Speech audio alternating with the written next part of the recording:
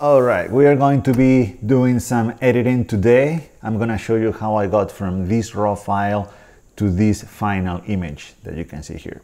I chose this one because I believe that it showcases some of the most important concepts and tools that I use when I edit my black and white images. I'm gonna be doing this in Adobe Lightroom CC, uh, but there is nothing that I'm gonna show you here that you can't do on almost any basic uh, photo editing software out there. As you can see, this photograph is a little bit underexposed.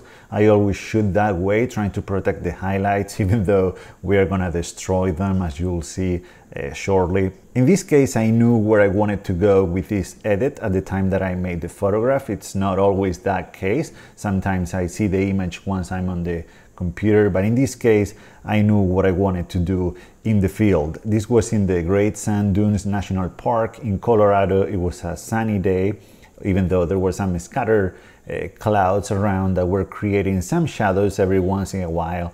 So some of the dunes were in the shade and went dark, while some other dunes were still being lit up.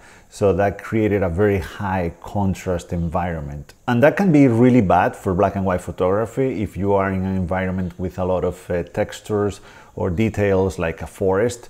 But it's uh, great when you are in open landscapes like this and the, the objects or the surfaces that are uh, they have the high contrast don't have much texture or much detail in them like uh, sand dunes. So I knew that the dune in the middle, that is the main subject of this photo, would be almost black, but still retaining just a little bit of detail around here. The dune in the foreground would be pretty much white. There is not much texture to it, it's out of focus anyway. And then the background would almost disappear, but leaving a little hint of uh, mountains in the, in, the, in the background. So of course we are gonna go for a high contrast image. I'm just cropping this to square as usual, more or less that composition works. The advantage of shooting digital and having the whole raw file available is that I can recompose a little bit in post, something that I can't do with uh, the Bronica. That's why when I shoot the Bronica, I leave a little bit of a spare room on the sides just in case I see uh, things a little bit better, the composition a little bit better uh, later on on the computer. You're gonna just convert it to black and white and as I said, we're going for high contrast, so the obvious thing is to increase the contrast uh, with all the tools that we have available. Uh, here, as you can see, the, uh, the dune, as I said, in the middle is pretty much black at this point. We need to increase a little bit more the whites and exposure here. As you can see, the background here starts to disappear as we increase the exposure and that's uh, what I wanted to create. And this is roughly what we are gonna do for now about the contrast. We can fine tune this uh, later. We're gonna go to the most important step of all. Point curve for the levels are the most is the most important tool that I that I use. What I do is usually I raise the blacks a little bit. I don't want pure blacks on my images on my final print. I, I usually use uh, here in Lightroom 2.5 to 5, something like that. I make sure that the middle goes there. And now in the highlights, uh, this uh, I take down quite a lot, around 90, 89, something like that, depending on the image. As you can see, what it's doing is taking those uh, bright spots, the highlights, down, but also every range of highlight that falls in there in that range is gonna just crash into, is gonna convert into a blob. It's losing all the texture and all the detail that there could be on those uh, highlights. I'm just gonna do a minor adjustment here. So as you can see, we're getting there, but this is not uh, bright enough. So we're gonna increase those whites a little bit more. And now, because we did this with the levels, we can go ahead and increase our exposure quite a little bit. And we are never gonna reach pure white because our uh, brightest spot in the image is going to be 90% of white, something like that. So as you can see here, the background disappears even more, even more. We can go all the way until it disappears, but let's uh, leave it at a hint of the background there. That creates or reveals a little bit more of uh, texture and detail on that dune that we don't necessarily want, or I don't, just a little bit, just once again, a hint that there is something there. There you go. Maybe a little bit less of exposure there. There you go. So as you can see, the clouds are gone.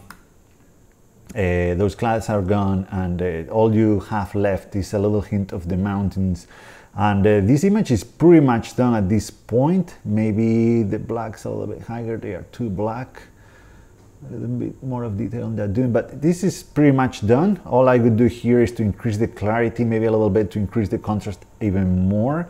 Grain don't be shy about the grain. When we have images like these where half of the frame doesn't have any detail or texture the same pretty much with the, the sky up here grain helps a lot so what I do usually maybe 50 of grain. The size, uh, depending on the detail of the image, once again, you might want to uh, go uh, with uh, less or more.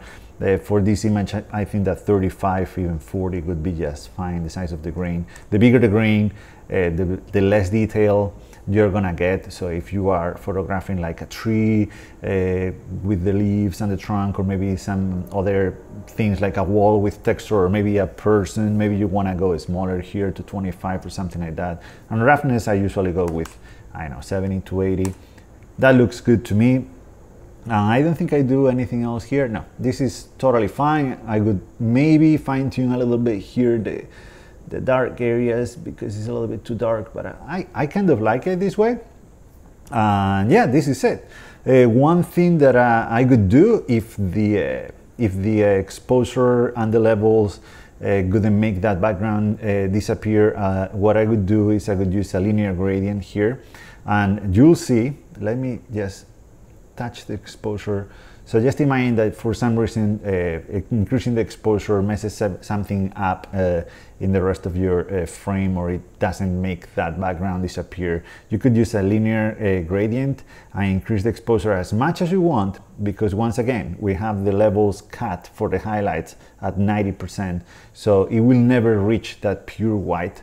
As you can see here, there you go, the sky is completely gone and that's because it's uh, as bright as it can be uh, in this frame for those or in this image for uh, those levels and we can just move it around as much as we want. And as you can see the, the, the top of the image is going to stay gray in that 90% of, of white. So we can use that effect to remove the clouds in the sky or to even make the background disappear even more. I like hinting, hiding details and it adds mystery and some, I know, interest to our images. So this is a tool that I use very often as well. It could be the linear or it could be the circular gradient. It's the same concept.